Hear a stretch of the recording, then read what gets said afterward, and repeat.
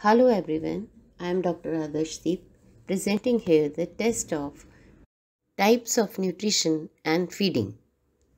First category of questions are very short answer type questions which you have to answer in 2 to 3 lines. So first question of this category is define nutrition.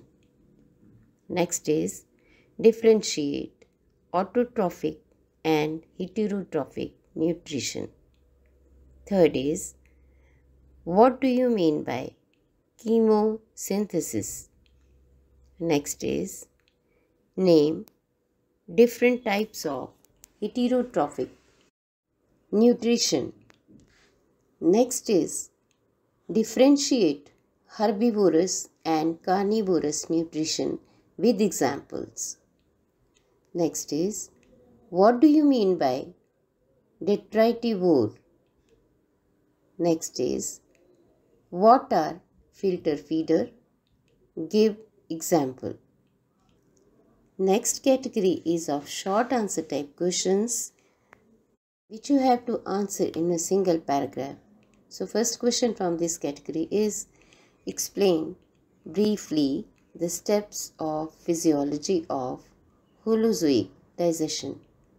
Next is define digestion. Explain intracellular and extracellular digestion. Next is describe the events of digestion occur in buccal cavity. Next is write a note on salivary glands. Next is explain the functions of HCl in stomach. Next is describe the protein digestion in the intestine. Next is what is lactose intolerance? Explain.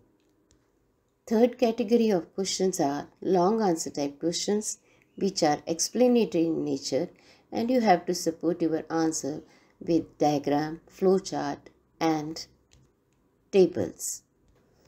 First question from this category is explain digestion of carbohydrate.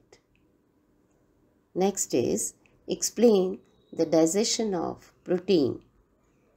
So this is all about the questions. Do all the questions and submit your answer to the concerned teacher of your college. All the best. Thank you.